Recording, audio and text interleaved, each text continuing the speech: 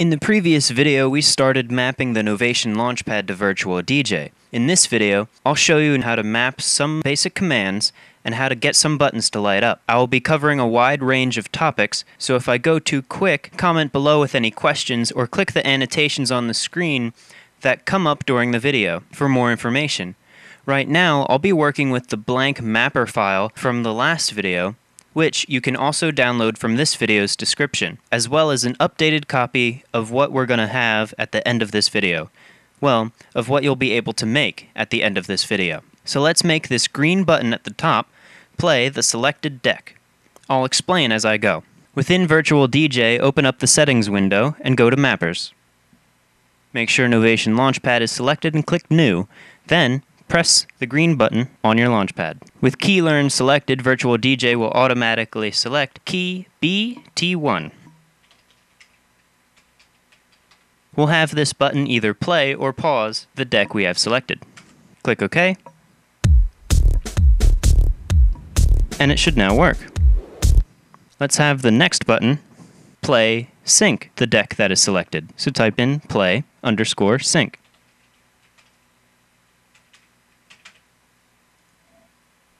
We'll also want to light up the button so we know which one we just mapped. When mapping all 80 buttons on the Novation Launchpad, it'll get pretty confusing if the buttons aren't colored correctly. So search for LED GT2, and for now, just type in on. If done correctly, the second top button on the Novation Launchpad should light up. So now, if you have another deck playing,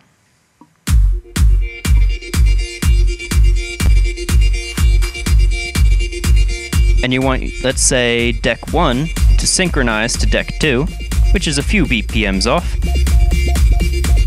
we press the set we pl we press the second button and they'll automatically be synchronized to one another. Now we don't have any buttons set up to pause or stop the decks that we have playing, so let's do that now. Let's set up this third one to pause or stop the selected deck. Go to New, press the button you wish, type in pause underscore stop, and don't forget to color in the button with an LED. This time I selected LED YT3 to signify that this button either pauses or stops the audio, while these two will play it. Novation Launchpad offers four different LED colors green, amber, yellow, and red. Use these four colors to your advantage so you know quickly and visually what each button on your Launchpad does. So now, we have a button to play and a button to pause. If you press play pause once again, it'll go back to the beginning of the track or begin to cycle through any cue points you have created. To add a little flair to this current setup, let's have the play pause button blink to the beat. So open up your mappers and in LED GT1, the button in charge of playing or pausing the selected deck, let's type in play question mark which uh, is a conditional statement in VDJ script. So if it's playing we want it to acquire the beat grid of virtual DJ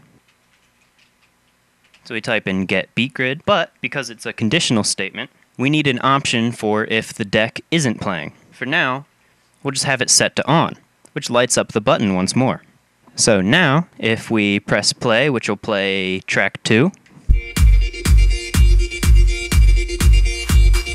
The button will blink to the track's tempo. This may sound off, but if we horribly speed up Deck 2's tempo, the button blink speed will increase as well.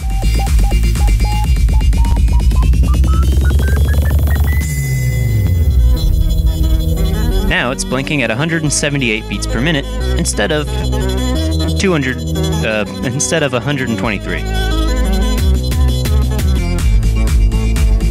Now it's back to normal. When we pause the track, it stops blinking.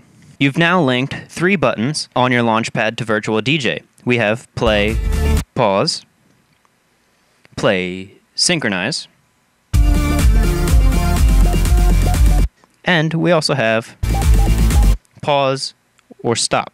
Look in this video's description for the mapper file. We've created the blank mapper file uh, as well as Subcycle's mapper file.